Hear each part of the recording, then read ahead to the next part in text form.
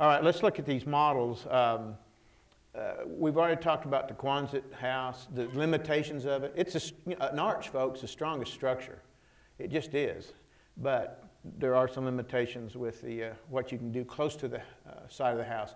Any of these structures, in my opinion, that are less than 20 feet in diameter, they're, they're just too, um, offer too much obstruction when you, you try to work close to the house. 20 foot and beyond, I mean, I like, I, still like these, the Quonset houses. But to get a little bit more room, think about these uh, straight wall houses. Uh, gives you a little bit, again, more shoulder room, head room.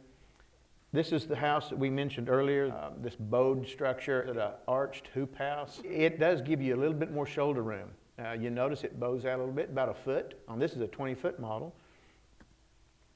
Uh, if you're looking for, again, heat, way to dissipate heat, build them tall. I think Lewis talked about that. Build the houses uh, high and then utilize that flue effect. This is on the leeward side. You always want to put that third vent on the leeward side if you make a triple vent house.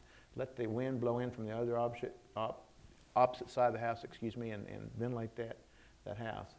Um, ridge vent, this is the most efficient method, but again, how you, you maintain that vent? Boy, trying to get up there and put that on and then repair it, it's a little bit difficult.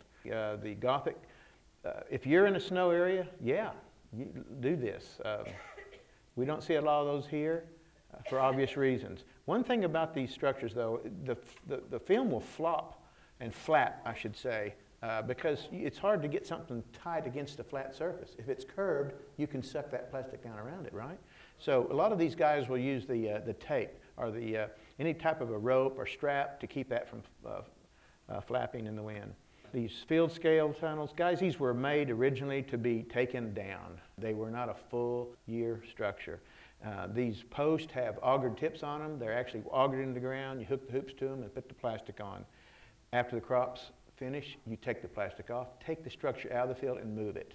But, uh, you know, it takes work. So people were trying to do these as full season structures, and they're cheaper. There's not as much steel, and they do blow down. This is our structure here. But this one didn't last for us. And it was simply we were trying to cut our costs, see how it worked. Well, this is, uh, this is not acceptable. Um, now, a lot of the people who make these, manufacture these types of houses have strengthened their uh, end walls that are, they're attached to and they've also increased the number of purlins they put in them. But still, I think you need to be, you need to be careful where you put these. Uh, some of the portable models, this is a lift and tote. This is actually a, uh, an Ohio structure that we, we saw on a tour.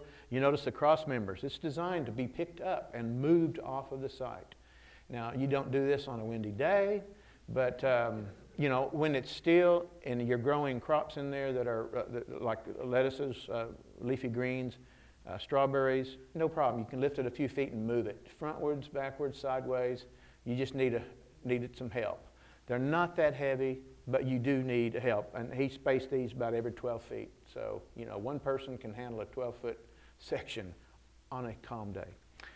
Uh, this is a roller mounted. This was the same house that uh, uh, Dr. Jett showed. This was actually the same field day there at Penn State.